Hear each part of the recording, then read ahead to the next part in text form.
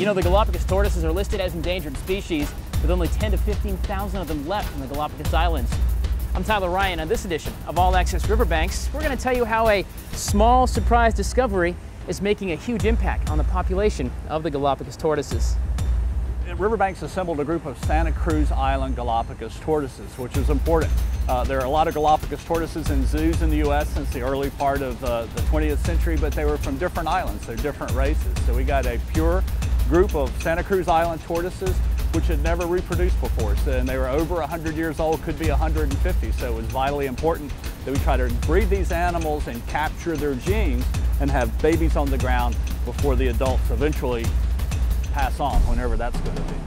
But age definitely was not a factor for Alberta. The new mom came to the United States as an adult in 1951, while the hatchling's father arrived in the country in 1928, also as an adult. They're at least 100, more likely they're 150. They could easily live over 200 years, but we really don't know because it's hard to keep records for that long. I mean, think 200 years ago, you know, Thomas Jefferson was president of the United States. Well, it's very special because you can get so close to the animals. And whereas a lot of people don't like some reptiles like snakes and crocodilians, they love tortoises.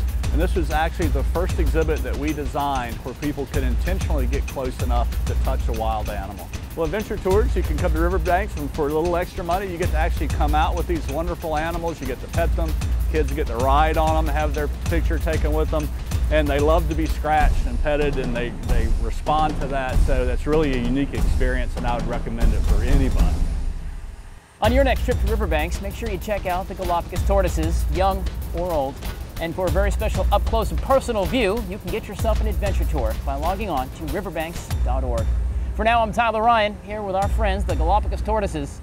Thank you for joining us for this edition of All Access Riverbanks. We'll see you next time.